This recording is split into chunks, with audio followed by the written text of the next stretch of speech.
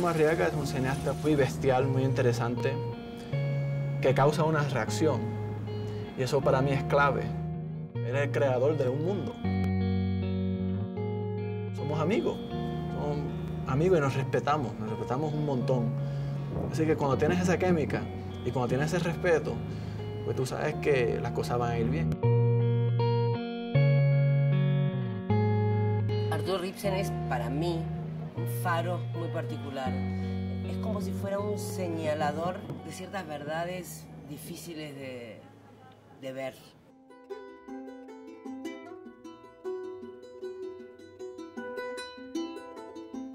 Estoy sumamente entusiasmado por hacer este programa porque voy a tener la oportunidad de conocer a alguien que admiro muchísimo.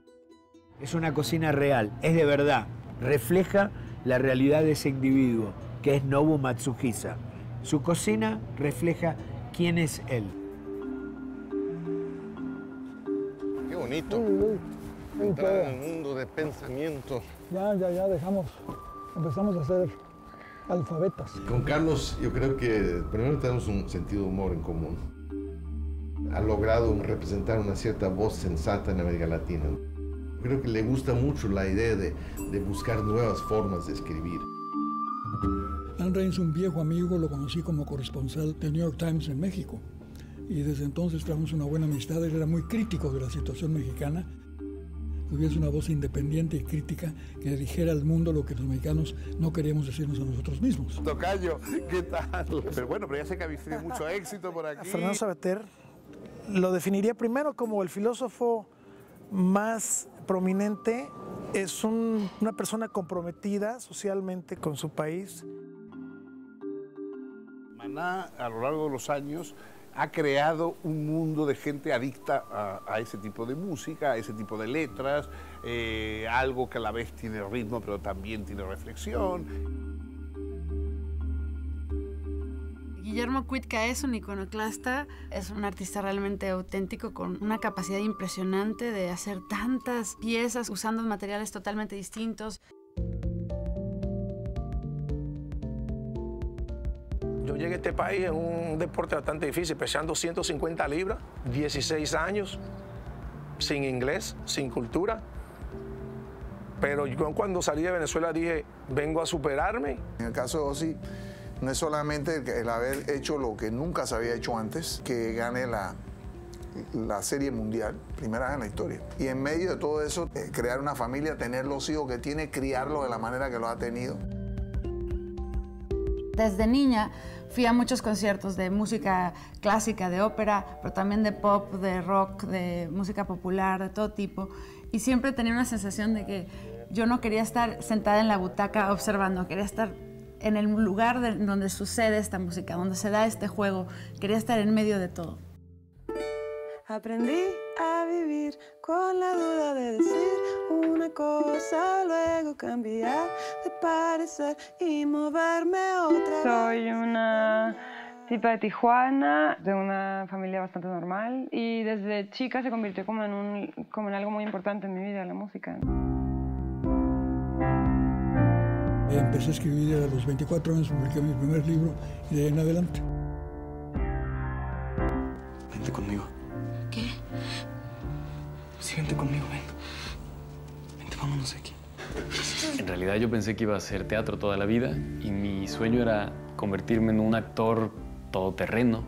Vamos a cantar contra la violencia hacia las mujeres. Crecí en un contexto donde tenía cabida todo lo que yo pensaba y luego me enfrentaba a un país bien machista y que no le gustaban las niñas que jugaban fútbol como yo. Pues bueno, pues crecí en estos contextos de contraste y, y eso es lo que me hizo quien soy. Estoy sumamente agradecido por todas las oportunidades y por la ayuda que he tenido, porque nadie llega a esto solo. Nadie llega al éxito solo. Quiero pensar que- en que estoy evolucionando de una manera en que no sé si es llegar a un punto de perfección, porque realmente lo que me gusta es el proceso, es el aprendizaje. Yo creo que, que la curiosidad es un gran motor para hacer cosas siempre. Me encanta el, el- el- el peligro, la combinación del peligro y la inocencia que implica eh, exponerme a un instrumento nuevo. A mí lo que me inspira para escribir es la vida. Escribo básicamente de cosas que me han pasado a mí o, que he vivenciado de manera muy cercana.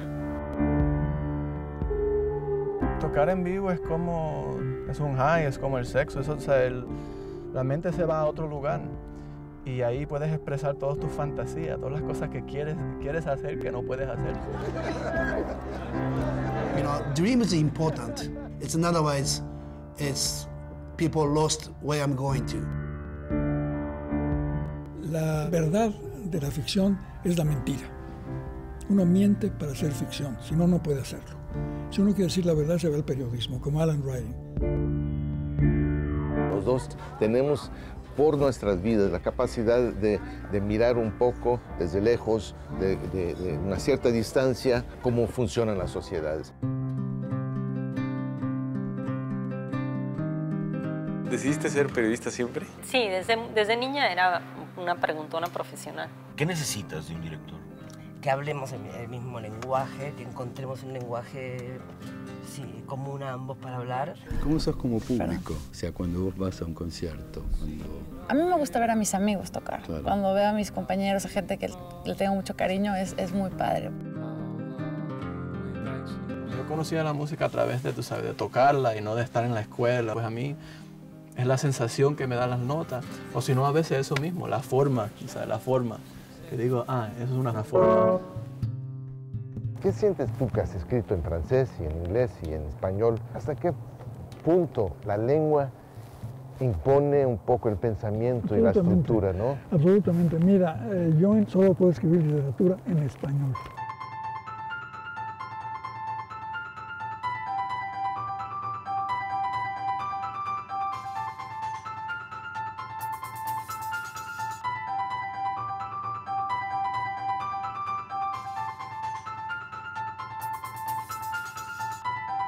Hasta la próxima. Igualmente. En, Guadalajara, aquí, en todas partes.